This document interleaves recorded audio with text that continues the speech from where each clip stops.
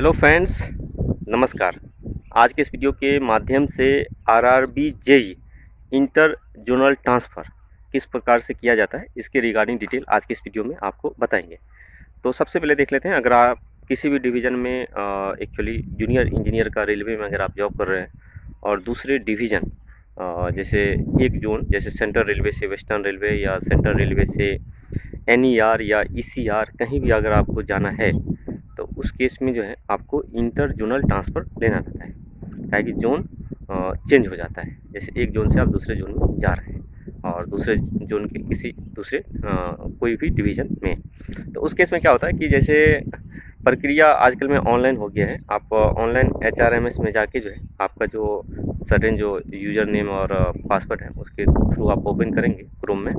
उसके बाद आपको एक म्यूचुअल ट्रांसफ़र का उसमें ऑप्शन मिलता है। तो म्यूचुअल ट्रांसफ़र आप पर आप क्लिक करेंगे और दूसरा जो एम्प्लॉय है एक्चुअली सेम ग्रेड पे का आपका ही पोस्ट का होना चाहिए जेई का। जैसे एक एग्ज़ाम्पल लेते हैं अगर जेई पीवे का है तो दूसरा जो जोन का जो एम्प्लॉय है वो भी जेई पीवे का होना चाहिए आ, सेम तो उस केस में क्या होता है मेडिकल स्टैंडर्ड भी सेम रहता है एम्प्लॉय का। और उसके बाद जो है आप प्रोसेस स्टार्ट कर दें एक्चुअली आप फॉर्म फिलअप कर देंगे।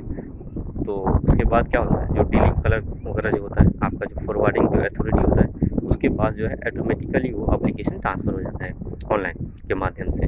जैसे वहाँ ट्रांसफ़र हो जाएगा तो उसका भी एक सर्टेन डेट होता है डे होता है वर्किंग डे इतने दिन के अंदर जो है उनको, उसको फॉरवर्ड फिर आगे करना है।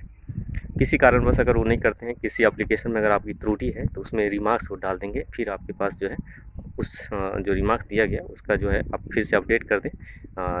जो भी उसमें रिमार्क डाला गया है, फिर से अप्लीकेशन फॉरवर्ड हो जाएगा।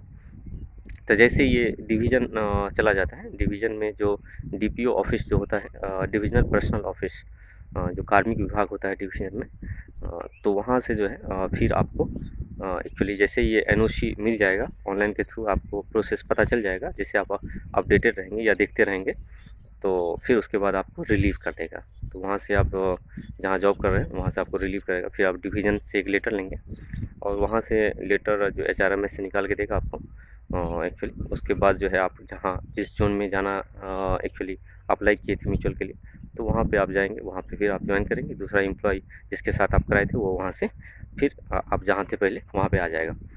ये पहला क्राइटेरिया हो गया म्यूचुअल का। दूसरा होता है एक on request transfer on request transfer भी एच आर एम एस के थ्रू होता है। तो उसमें जो है आपको कोई दूसरा एम्प्लॉय खोजने की ज़रूरत नहीं है और आप जो है वहाँ पे अप्लाई कर दें और ये भी प्रोसेस के थ्रू वैसे ही डीलिंग कलर के पास जाएगा, फिर वहाँ से फॉरवर्ड होकर डिवीज़न जाएगा। और जिस डिवीज़न में या जोन में अगर आप जाना चाह रहे हैं, वहाँ पे एप्लीकेशन चला जाएगा ऑटोमेटिकली और वहाँ से जो है अगर एक्चुअली एनओसी दे दी जाती है तो आपको यहाँ से रिलीव कर देगा। लेकिन इस प्रोसेस में थोड़ा लेंदी प्रक्रिया होता है। जल जल्दी जो है आपको एन वगैरह नहीं देता है।